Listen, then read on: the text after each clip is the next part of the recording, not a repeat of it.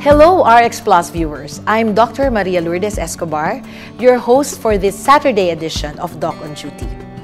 Maraming medical conditions ang pwedeng mangyari sa ating mga mata. And of course, we have to be very concerned.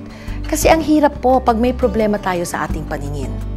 Kagaya ng message na tatanggap natin from Miss Sophie Salazar. Bukod sa paglabo ng mga mata ko, Nag-aalala po ako dahil parang nagiging madilim at baluktot ang paningin ko. Bakit po ganito, Doc? Okay, Miss Sophie, may expert tayong ophthalmologist na sasagot sa problema mo. And this is in the person of Dr. Nicolo Zandro Valencia.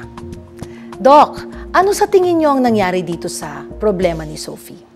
Thank you, Doc, for that question. So, to our viewers, um, actually, maraming pwedeng cause yung pagbaluktot ng uh, vision or yung panglalabo ng vision.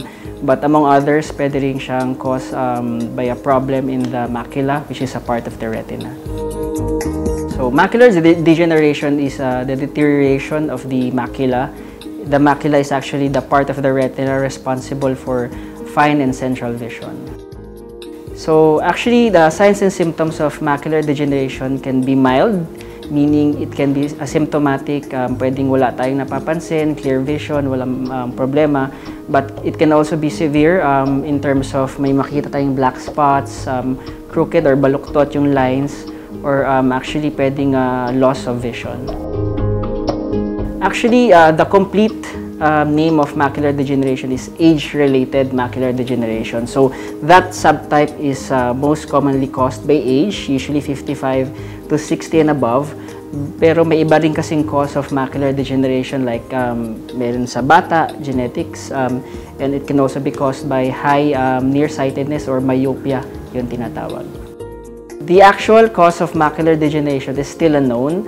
Um, but some factors have been known to um, increase the risk of developing macular degeneration. Number one, age, um, usually 55 and to 60 pataas. Um, number two, obesity. Um, number three, presence of um, cardiovascular um, diseases. Um, number four, smoking. Uh, and number five, usually kapag females have more uh, are more at risk of developing than males. Since macular degeneration is basically age-related, so we cannot prevent um, aging. Um, but there are some factors that we can um, alter, like smoking, um, obesity, so exercise, proper food, um, and uh, yung risk for developing cardiovascular uh, diseases. In some cases, mild macular degeneration does not even need to be treated. Uh, but in cases that have to be treated, um, actually the, the only way to uh, prevent the progression of macular degeneration is the injection of um, medications inside the eye. So hi Sophie, um, for any um, problems in the eye, ophthalmologic needs, um, you can always come and visit us here in the Los Santos Medical Center. Um, we have our very own eye center equipped with state-of-the-art facilities uh, to cater your um, ophthalmologic needs. Thank you, Dr. Nicolo, for sharing your expertise with us. At sana, Miss Sophie, masagot na ang problema sa iyong paningin base sa mga nirekomenda ni Dr. Nicolo Valencia.